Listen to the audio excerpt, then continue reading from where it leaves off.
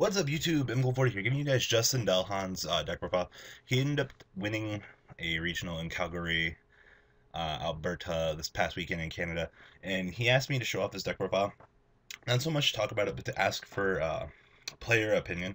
Um, he did say that he doesn't like um, Dragon Ravine past turn two, um, which is something that I understand uh, from him as a player. Um, and he does have a stable trap board in the deck to reflect his gadget playstyle, which is actually pretty cool. Uh, so, um, guys, I'll name off the stuff. Uh, it's Dragon Plants, um, but he wants to know what you guys think about uh, the card choices, um, what you guys would change. So try to keep that in mind that we're asking for uh, a rate and fix here, uh, kind of thing. And yeah, tell us what you have to think. So start things off. One Fun Guard, Triple Blastocoon, Gorz, triple Tidal, triple Tempest, triple Redox, and then double Debris Dragon. A lot of players are making reference now to Debris Dragon being a really, really, really more powerful card now that, you know, certain anti-meta cards have disappeared from the meta. Uh, it's really surprising that Debris Dragon has, like, found his way back in with the Plant Engine, but nonetheless, don't underestimate Debris Dragon in this format. Uh, one of Lonefire, one of Card Trooper, arguably the first or most important First or second most important card of the deck next to Debris Dragon, and then one Dandelion.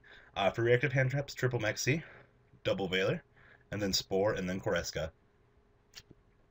For the spells, two cards of Consonance, triple Sacred Sword, Dark Hole, Gold Sarco, Foolish Burial, Econ, Return, Bottomless, Mirror Force, Compulse, and Solemn.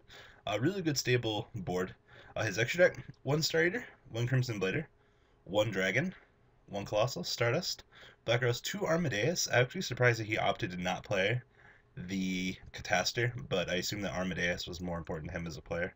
Uh, one Armor, one Misper Colossus, one Formula, two Dracos, Gaia Charger, and Big Eye. His side deck, two Jinzo, two DD Crow, Vortex, triple MST, double XYZ Encore, double Prohibition, and then triple Debunk. So, guys, now that you've seen other Dragon Plant decks, uh, you know, floating around. Some of them with Dragon Ravine, some of them not. Uh, tell us what you think about this one. Uh, give us a little bit more insight into this, uh, what you guys as the players would change or anything like that.